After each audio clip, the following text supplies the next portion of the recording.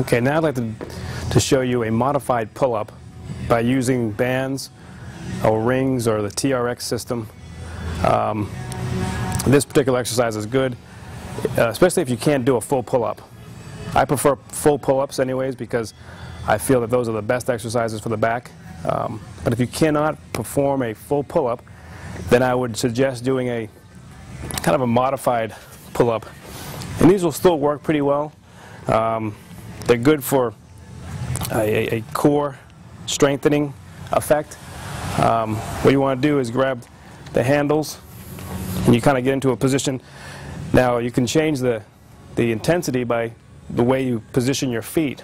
Um, so if you're a beginner, you want to try to stand a little more upright until you develop more strength and then you can change position which I'll show in a minute.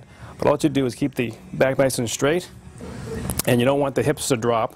So you want to keep it nice and, nice and strong through the core, and you keep the chest up. And what you do here, you exhale, and you just pull yourself up. Inhale, exhale. Inhale,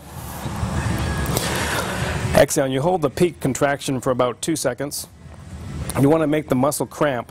So when you come up, you want to contract and make the muscle cramp hard, and then you come back down, you release. And you exhale, and avoid again dropping. Just You don't want the body just to drop. You want to stay nice and strong through the whole range of motion here. To make it more challenging, you slide down, go down a little lower, and then you pull yourself up.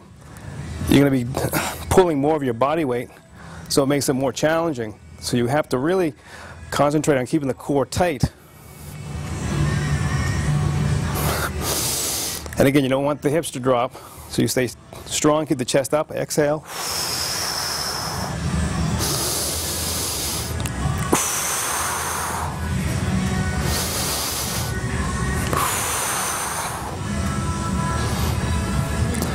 And you do a series of those. And that's just a great way to do like a pull-up motion without having to um, do a full pull-up because a lot of times people can't do a full pull-up. So then they do this modified version of a pull-up. It's a good exercise. It's going to hit the core. Um, it's going to hit your back, your biceps.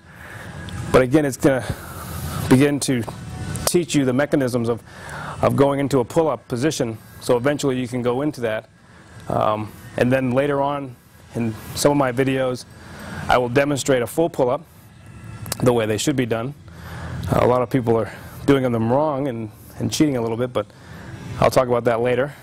Uh, but that's the exercise for today is just to do a modified pull-up using the straps or bands or you can kind of make up your own thing but as long as you can you can get that same effect then they'll work. You just want to make sure that your um, your setup's safe and if you're at home they do have setups you can put in the door but just be careful because sometimes um, you can have a tendency to break those pretty easy.